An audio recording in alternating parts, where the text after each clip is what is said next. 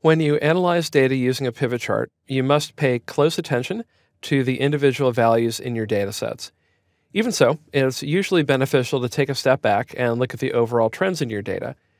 You can enhance your analysis by projecting future values, assuming current trends stay constant, by adding a trend line to your pivot chart. In this movie, I will demonstrate how to add a trend line to a pivot chart. My sample file is trendline 0607, and you can find it in the Chapter 6 folder of your exercise files collection. This workbook has a pivot table and an associated pivot chart on sheet 1. And you can see that I have date of purchase, providing values for the row area, and then sum of quantity in the values area.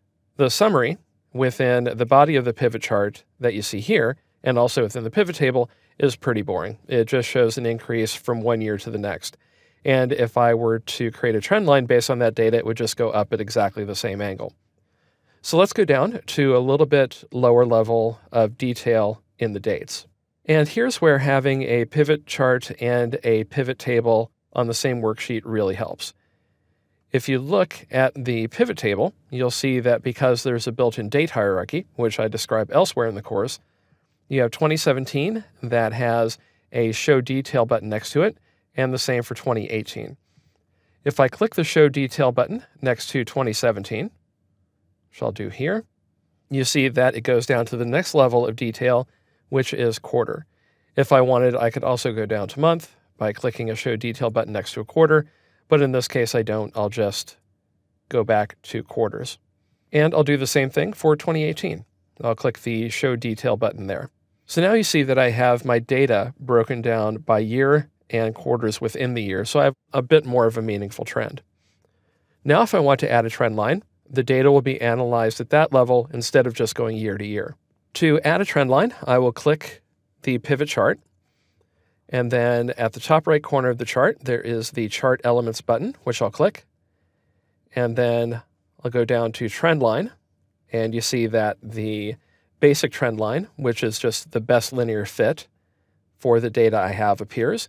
However, if I click the right pointing triangle, I can have linear, exponential, linear forecast, or more options. First thing I'll do is hover over linear forecast and you see that we have a forecast that is put two quarters or two periods into the future. If I want even more control, I can click More Options, and the Format Trend Line task pane appears. And here I can select the trend line type. Unless you're told differently, always assume linear data.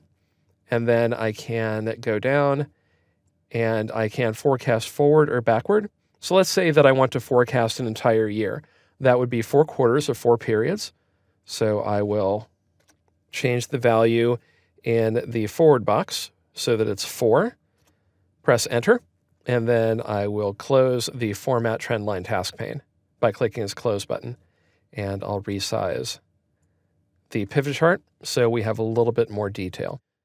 When you're done with your trend line, you can click the Chart Elements button again, and I resize the pivot chart so that it was displayed and clear the trend line checkbox.